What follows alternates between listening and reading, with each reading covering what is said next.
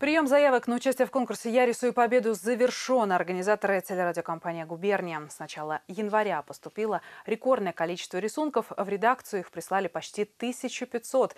Генеральный партнер – завод КПД. Партнер конкурса – группа компании «Санкей». Присоединился к проведению и самарский филиал Почты России, благодаря чему подарки получат участники из других регионов. Подробности в материале Дарьи Зотовой.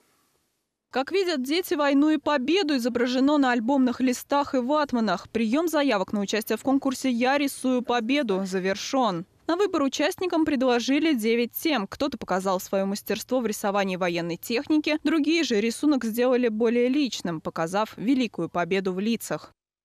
На этом рисунке изображен Болесов Иван Егорович, мой дедушка, который погиб в советско-финской войне, когда ему было всего 23 года. Я просто увидела в Инстаграме анкету, ну, то есть э, ваш пост, и посмотрела, думаю, почему бы не рассказать э, всем подписчикам этого инстаграм-канала о подвиге своего дедушки. Потому что мало кто знает о дедушке, и в интернете почти нет информации о нем. На рисунке мы рисовали День Победы.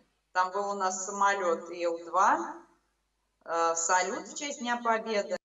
Рисунке изображен солдат, который прошел всю войну и победил фашистов и пришел домой с победой. У меня есть э, дедушка, прадедушка, и я, можно сказать, его черты а, оформила на этом рисунке. Этим рисунком я хотела передать то, что годы войны, они очень тяжелые. И мужчина, несмотря на то, сколько у него наград, он об этом вспоминает, и у него просто накатываются слезы на глазах. Я рисовала, наверное, недели две. Но я старалась, правда. Она очень прям глубоко мне в душу запала. Принимались работы как в электронном виде, так и в живом варианте. Всего в редакцию ТРК «Губерния» прислали почти полторы тысячи рисунков. Конкурс вышел за пределы Самарской области. Присоединились и сотни юных художников из других регионов. Это Москва, Нижний Новгород, Красноярский край, Пермская область. То есть очень много, а, скажем так, э, городов, знают о том, что мы проводим такой конкурс и хотят принимать в нем участие. То, какие работы нам стали присылать, это, конечно, одно вдохновение. Я могу сказать, что нам будет в этом году ну, очень сложно определять победителей.